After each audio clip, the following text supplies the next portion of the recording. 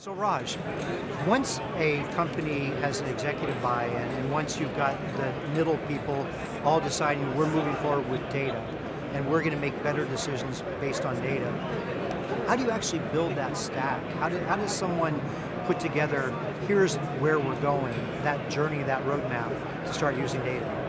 So from a technology perspective, there are a lot of things to consider. The important thing is to know the big picture up front, uh, build out a data strategy and a platform and a technology strategy up front, which really informs all of the decision making that you do at different levels of the stack. Uh, one of the key things that we try to do is uh, when we make those decisions, we are trying to bring the best of breed technologies together. And at the same time, we are looking at what works best for a specific situation. No two clients are the same, no two situations are the same, no two use cases are the same, right? They'll have broad brushstrokes which are common, but the nuances are what matter. And that's where when you put a technology architecture together and you start implementing a solution, you have to be open to the fact that you'll have to integrate a multitude of technologies from different vendors uh, that address the problem at hand. So when you're stitching that together, that platform, do you ever have to make special uh, connections to make them work together? Or is it just off the shelf and it works from multiple vendors? It's a mix of both. There are some vendors where straight out of the box because there are engineering synergies that a lot of these vendors have with each other. Uh, they happen to be in each other's uh, ecosystem and development plans, and those products come together almost seamlessly. There are other vendors who are a perfect fit for what a client wants to do, but it requires some level of uh, engineering effort from a SI perspective in order to make the two tools talk to each other, right? And what we've seen is there's a general trend uh, towards uh, open source as well, right? Because of the velocity of development in, in the open source community, there are a lot of clients who want to get the best of what the open source community has to offer, not just commercial vendors.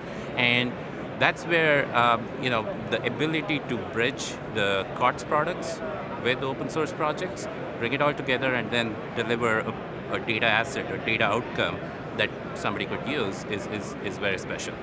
So is this this sort of approach of multi-vendor, hybrid between open and proprietary and some maybe custom code piled in, is that the norm in industry today?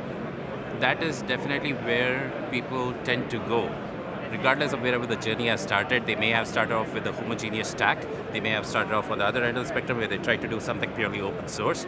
At the end of the day, there's convergence towards the middle where it becomes a mix of both. Uh, whether it's a migration or you do it at the start of the journey really is informed by how much of uh, planning did you do up front in order to lay out that, that strategy. That decision making framework really is the key to it. And so you guys help with that upfront planning. Yep. So all throughout the process, you're helping them figure out what their data journey is going to be and what outcomes they're looking for? Exactly, and and it's uh, it's also an evolution, right? Because you'll see that what you know today is probably not going to be a priority for you a year and a half, two years down the line. So as you go through that journey, uh, what you really think about is what's current right now from a top mind issues perspective for a client, and what do I need to do to go back to that roadmap that I built out and refresh that and make it relevant for what's happening now, right? Make it evolve. It's a living, living, breathing architecture. It's not something which is set in stone on day one, and then you keep executing for three, four years. So Raj, last question from me. Do you hear a standard, we want to use X, like an X being Spark or Hadoop, or do you hear a lot of enterprise customers that have a requirement that they want to start doing X, Y, or Z, and what is X, Y, or Z? What is the number one, like, we want to do Hadoop, or, or what is it? It's a, it's a great question, and, and typically I think there's a, a, a strong sway uh, related to the conferences such as this that occur. Uh, I'm pretty sure my clients will be asking a lot about machine learning and artificial intelligence coming deep, out of this week. Learning, right? yeah, yeah, exactly. So, so it really depends on what the buzzwords are, and that that tends to ignite the conversation the next thing to really have a dialogue about is where are we in our overall analytics journey? Where are we in our overall data journey? And then realize that if that is the aspiration, what does it take for us to go from here to there, right? And make it happen in a very deliberate fashion such that your chances of success are elevated. Excellent. Raj, thank you for your time. Thank you.